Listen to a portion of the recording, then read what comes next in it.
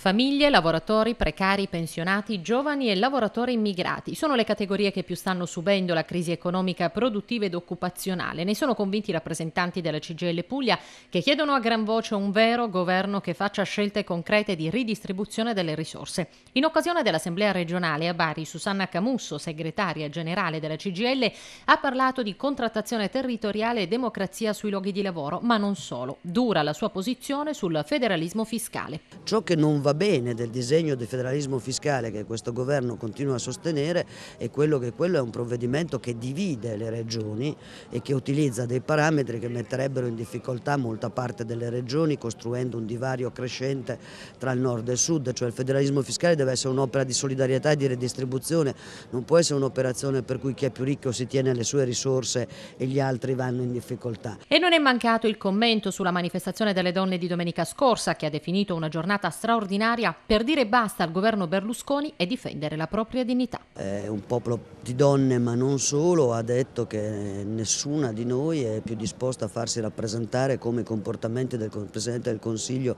le rappresentano, non solo per un riconoscimento necessario della dignità personale, ma perché questa immagine fa male al Paese, fa male alle sue prospettive di crescita, fa male al giudizio internazionale che c'è su di noi, come è evidente basta scorrere i titoli dei quotidiani stranieri eh, di ieri.